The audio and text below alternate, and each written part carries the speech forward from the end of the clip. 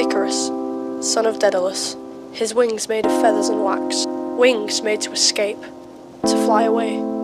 Don't fly too high or too low.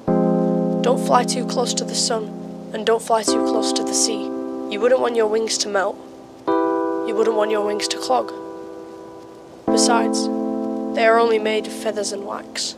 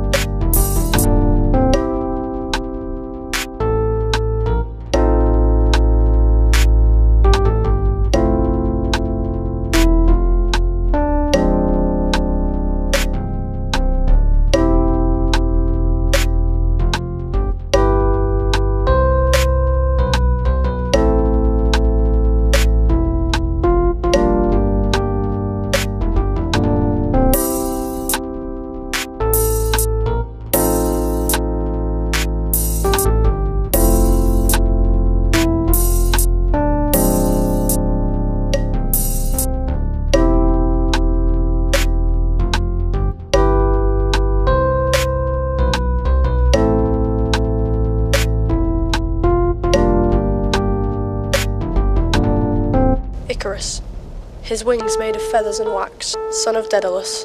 Don't fly too high or too low. Wings made to escape, to fly away.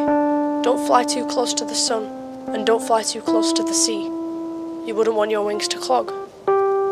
Besides, they are only made of feathers and wax. You wouldn't want your wings to melt.